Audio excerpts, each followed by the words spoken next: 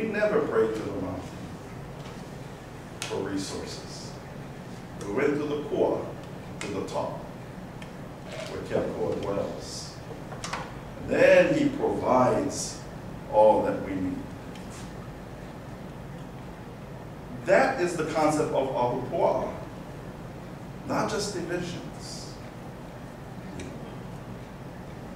And so, this Ahupua'a of Honolua is unhealthy. And, and, I, and, I, and, I, and I say this because everybody wants to have their plans and their agenda. Oh, what can we do with all this land? Let's build this, let's do that. And, and, and the Hawaiian goes, no. It's not our agenda. So a couple months ago, before I took over the reins, I sat at Makalua Puna Point. That's uh, Fleming Beach, yeah? And then you have Pavel right next. And I sit and I listening and I ask Honolua, what do you want? You see Lipoa, Umalo, you know, Punalau. And you sit there and, and I said, speak to me. Speak to me. And if you sit at Makalua Puna Point, you see all the development over here and hardly anything here. And Honolua spoke and said, I don't want to look like that. and so what Honolua was saying to me was, I'm dying. Leave me alone. I want to be healthy. The three bays of Kiha gone already. Honokowai, Honokeana, Honokahua. You got three left. Honolua, Honokohau, Honolua. And Honolua said, I've already lost three siblings. And so it was very uh, adamant that for me to say, we as Hawaiians, we listen to the land. And uh, Alliance uh, Moene, uh, when he went, he said the, the Aina was screaming, was in pain. And that's what I was experiencing too. And so I had no other option but to get involved and to restore the health of Honolua. And once she is healthy, then she will tell us what she wants. That's the Hawaiian way. Hawaiians are not about entitlement, we're about permission. We ask. Even when the halaus would go into the forest here and go to Laka, they ask permission for the, for the ferns and all that they need. They don't just go in and say, oh, let's get this. They ask permission. The fishermen at Pauwela, they would ask, which fish among you will come and feed my family? And they would come into the nets. Everything is by permission, not entitlement. When you come to visit me, you come to my house, you park your car, that's as far as you go. You don't go any further because you don't have permission. So, this is what Honolua is saying.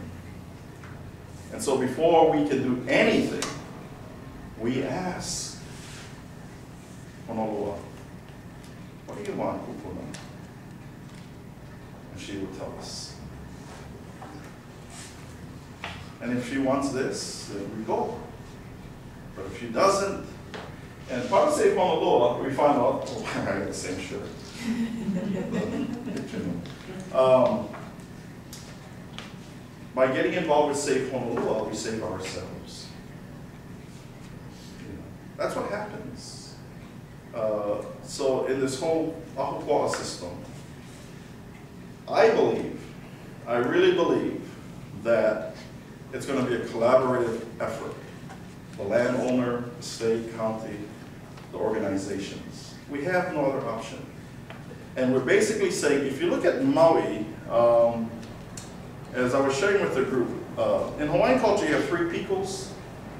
You have the three. Uh, the piko is your belly button. That's your connection to your past. Then the genital is who will come out of you. And then the third is here. This is called the Kamanava. Yes. Pretend I'm, I'm Maui. So this is the kamanava. This is where the baby, when it's born, it receives its nourishment. This is the breath of Kiakua.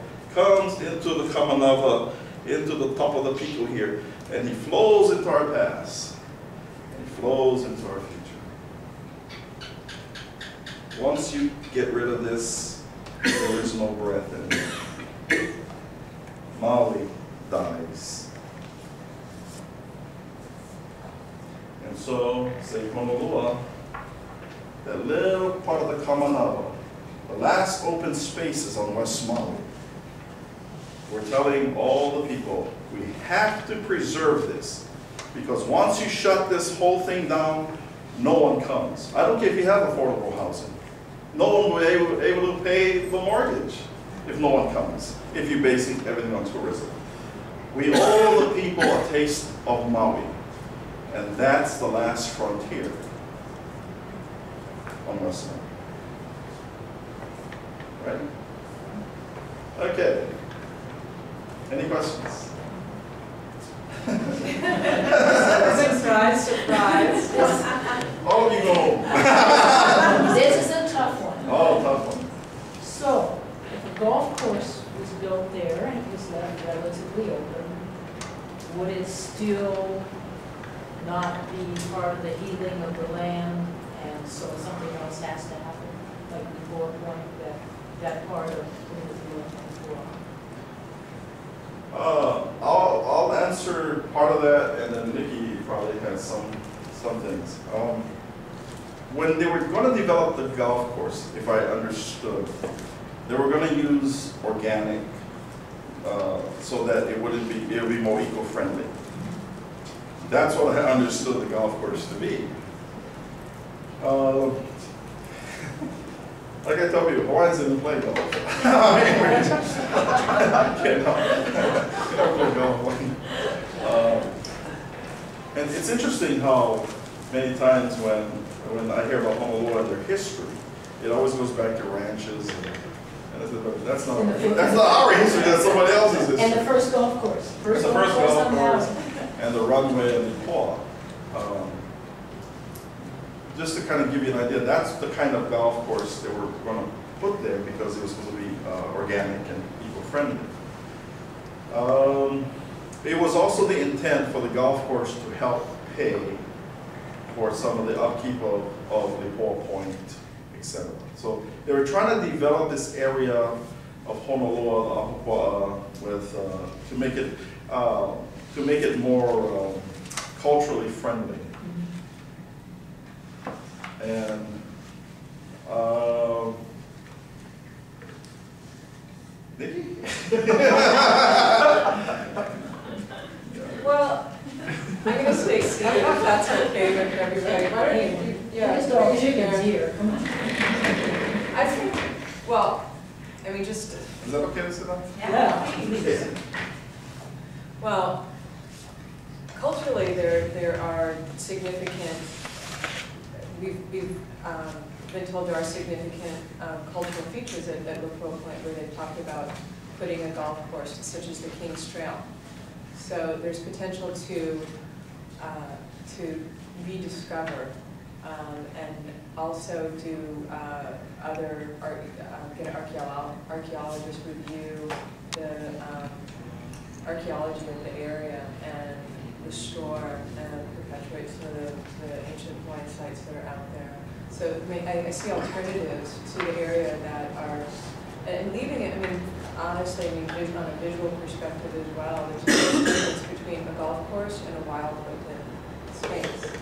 And with so much of, of Maui being developed and manicured, and, I mean, just speaking from a consumer, a gross consumer perspective, what is it that travelers want? How many golf courses do we have on Eighteen. already, right now? Eighteen. And how many, how many wild open places are left?